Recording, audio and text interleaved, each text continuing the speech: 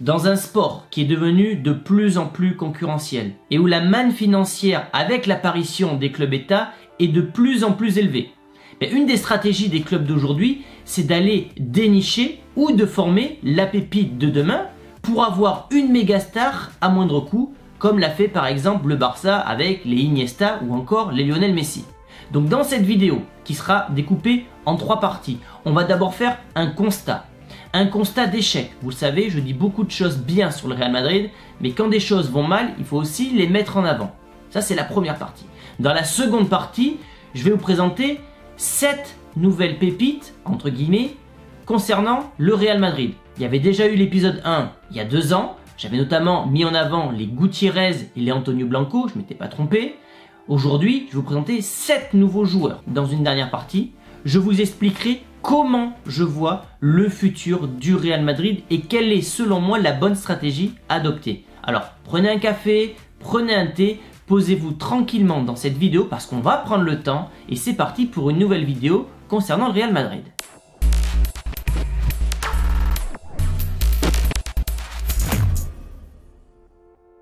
Si tu es un fan du Real et que tu adores suivre la trajectoire des jeunes du Castilla ou du Juvenil, tu peux le faire et ce gratuitement grâce à OneFootball qui est l'application numéro 1 sur le ballon rond et en sélectionnant le Real Madrid sur l'application, tu auras évidemment l'actualité concernant le Real, mais celle aussi du Castilla, du Juvenil, bref, tout ce qui englobe le Real Madrid. C'est totalement gratuit et je te mets le lien dans la description.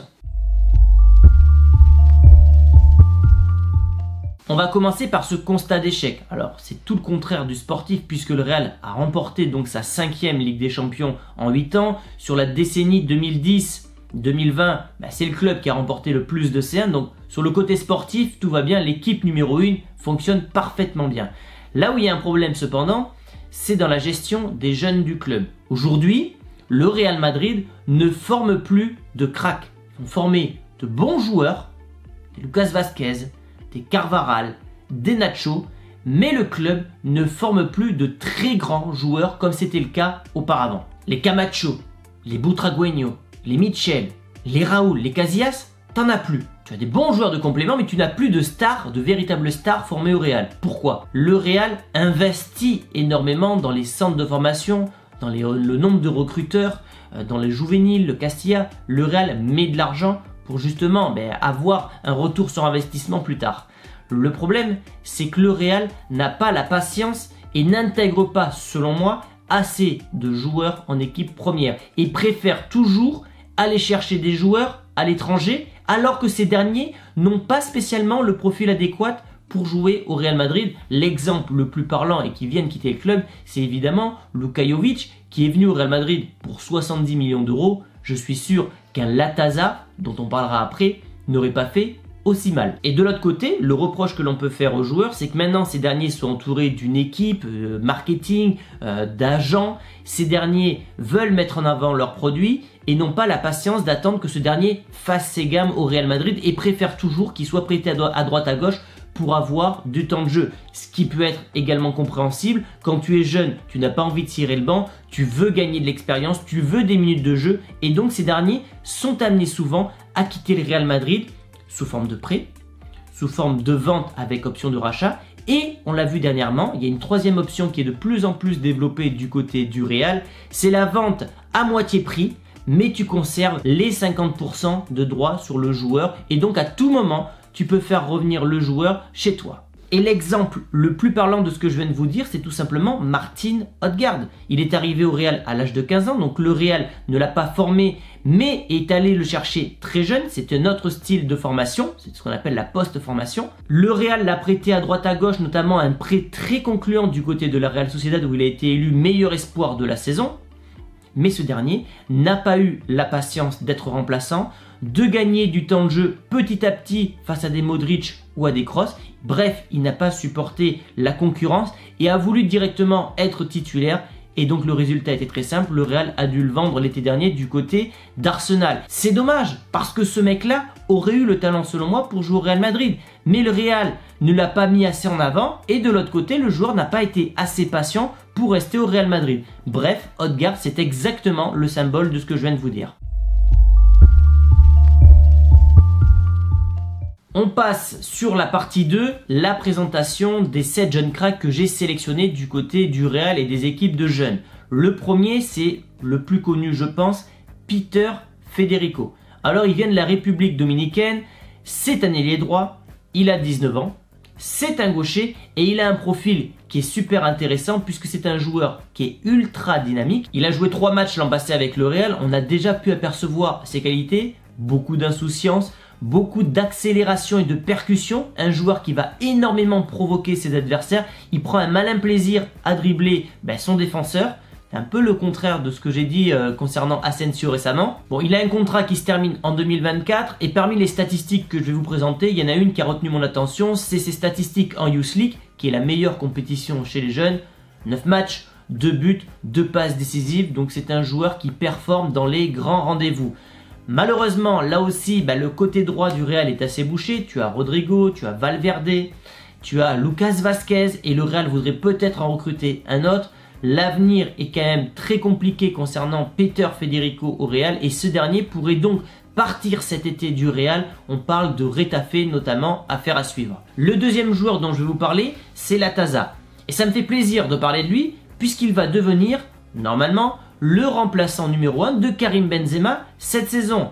Le Real ne compte plus sur Jovic et ils l'ont cédé gratuitement à la Fiorentina. Il ne compte plus sur Mariano. Et au lieu d'aller acheter encore un joueur qui ne va pas accepter la concurrence et que tu vas payer très cher, ben le Real a eu cette fois la bonne idée de faire monter un jeune du Castilla qui lui acceptera d'être remplaçant et profitera de ses minutes de jeu pour s'améliorer.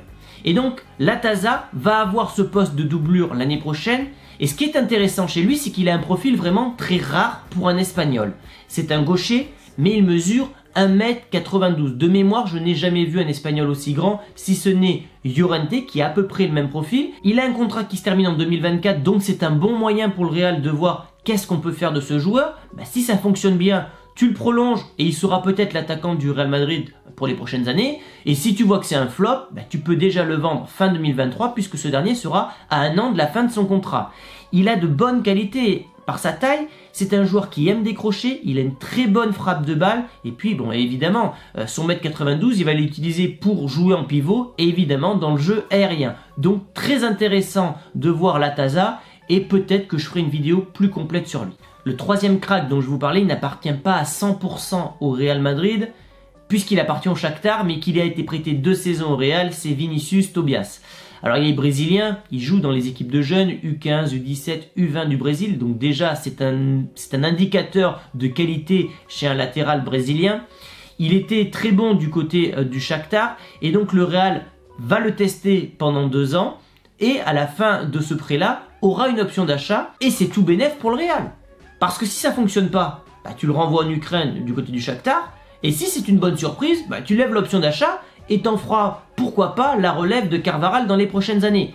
Alors, l'inconvénient, c'est qu'il est brésilien. Et dans cette histoire, vous savez qu'il y a un nombre de joueurs extra-communautaires par équipe maximum, et tu ne peux pas avoir 10 Brésiliens euh, dans ton club. Donc, je pense qu'à un moment donné, ça risque de bloquer de ce côté-là. Mais le joueur va alterner entre le Castilla et le Real, et ça va nous permettre de voir ce que vaut réellement ce joueur. Est-ce que c'est plus à niveau Castilla ou plus à niveau Real Madrid? On aura le temps d'en reparler. Le quatrième joueur, c'est Noël Lopez. J'en ai récemment parlé en début de vidéo.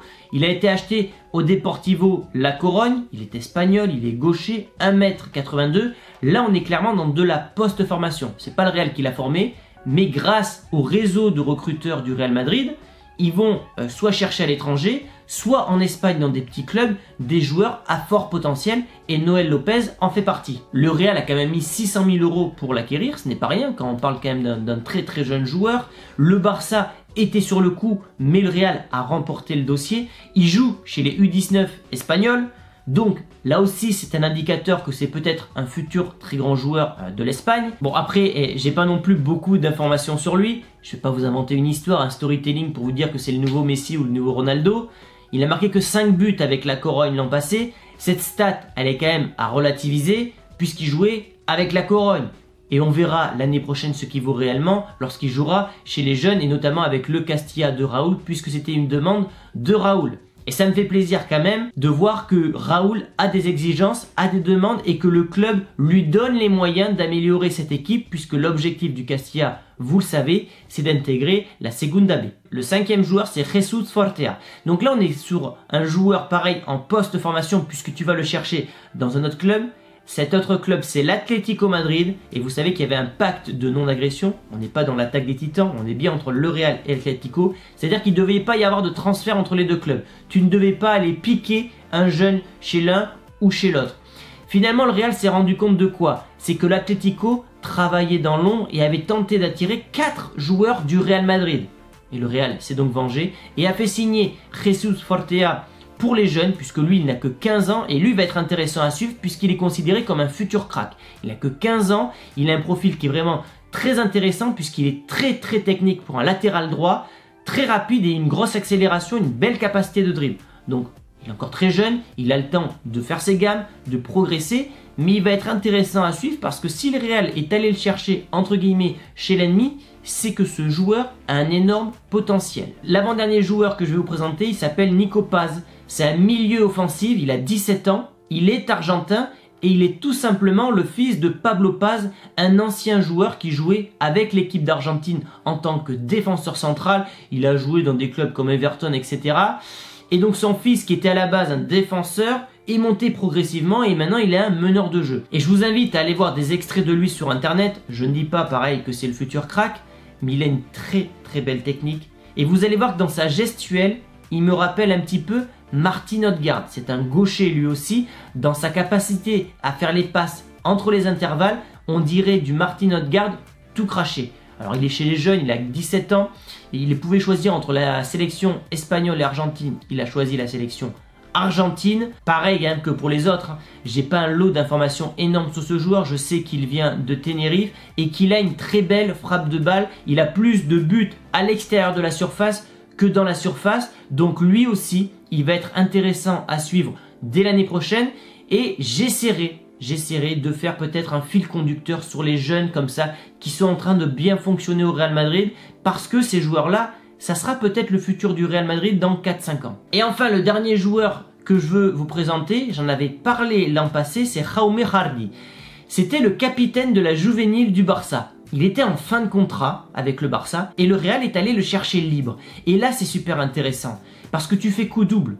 Tu vas affaiblir le futur du Barça en allant chercher le capitaine de la juvénile et surtout tu le fais venir gratuitement chez toi. Donc le Real, c'est tout bénéf dans cette opération, il n'a strictement rien à perdre. S'il fonctionne très bien, ben bravo au Real, bravo au recruteur.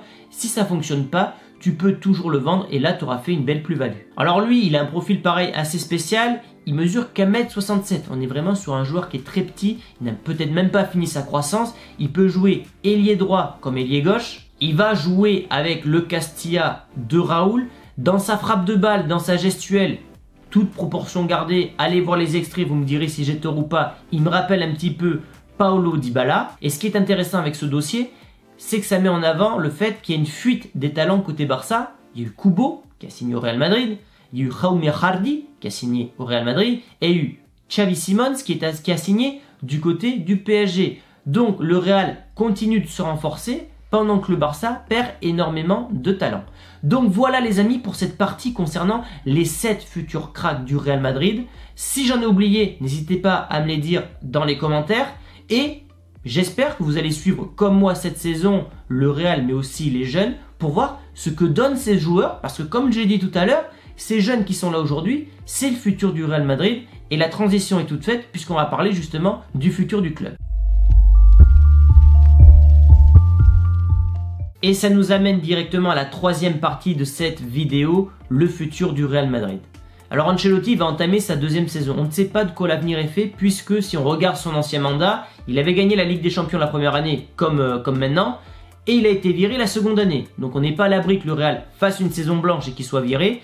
Mais si on doit déjà se projeter pour l'après Ancelotti, moi il y a deux noms que je retiens. Il y a Xabi Alonso et il y a Raoul. Et je mettrai une petite pièce sur Raoul. Pourquoi? Parce que déjà, Raoul, comme Zidane, il fait ses gammes au Real avec beaucoup euh, d'humilité. C'est-à-dire qu'il a été demandé à droite à gauche, lui il a voulu rester au Castilla. Il entraîne la nouvelle génération du Real Madrid. Donc Raoul, en plus d'avoir des résultats, puisque je rappelle qu'il a gagné, qu'il a remporté donc cette euh, Youth League, c'est un symbole de Madrid. C'est peut-être le joueur qui représente le mieux le madridisme. C'est un joueur qui est une légende absolue du Real Madrid. Il a été pendant de longues années le meilleur buteur de l'histoire du club avant que Ronaldo et bientôt Benzema ne, ne le dépassent. Donc il représente tout. Il représente Madrid. C'est un entraîneur que tu as formé comme Zidane. C'est un entraîneur qui est humble comme Zidane. C'est un entraîneur qui, à l'inverse de Zidane, je l'espère, va faire confiance aux jeunes, puisque Zidane a eu un gros défaut avec lui, c'est qu'il n'a pas fait jouer cette nouvelle génération de Hakimi, de Ceballos, de Odegaard, etc. Et que tous ces talents, Kovacic, et que tous ces talents sont partis à l'extérieur et qu'on les regrette maintenant aujourd'hui. Mais j'ai envie de croire que Raoul sera différent de Zidane de ce côté-là et qui fera jouer les joueurs dont il a coaché pendant des années. Donc Comment je vois ce futur du Real Madrid? Ben, Cette année, à court terme, je vois Ancelotti, mais à long terme, j'espère voir Raoul qui, lui, est patient, s'investit une nouvelle année pour cette saison avec le Castilla, alors qu'on va pas se mentir, c'est pas le challenge le plus excitant de la vie, sachant qu'il aurait pu entraîner des équipes premières à droite à gauche. Il est patient, il veut le Real Madrid et surtout, comme je l'ai dit, il connaît cette nouvelle génération et selon moi, il doit être l'entraîneur du Real Madrid pour l'après Ancelotti. Voilà les amis ce que j'avais à dire sur tout ce qui englobe les jeunes du Real Madrid et le futur du club. N'hésitez pas à me dire ce que vous avez pensé de la vidéo. Si vous avez aimé, un petit pouce bleu parce que ça me fait plaisir et ça soutient la chaîne. Si vous êtes nouveau sur la chaîne, abonnez-vous, ça sera un véritable plaisir. Et pour ceux qui veulent me suivre sur les autres plateformes, je suis disponible sur TikTok avec le lien en description. Merci à tous les amis et je vous dis à très vite. Ciao